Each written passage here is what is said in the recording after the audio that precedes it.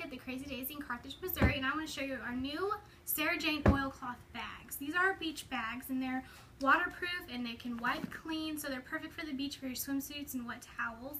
Let me show the insides of these three real fast. This one actually has a cosmetic bag that goes along with it, and the inside is different than the outside, and it has three pockets on the back. The same for this one. And this one has a matching cosmetic bag also. And then this one is green inside with the pockets on the back. Let me show you some more that we have. We have even a bigger bag for the beach. Look, you thought this one was big. Look how big this one is compared to this one. this one also has a matching cosmetic bag. Then it has large pockets inside. And then you think this one's big? Check this out. This one is even bigger.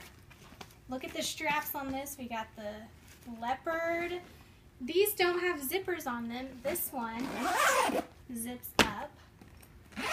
And then the inside has pockets also. And pockets on the outside. So these are new Sarah Jane beach bags.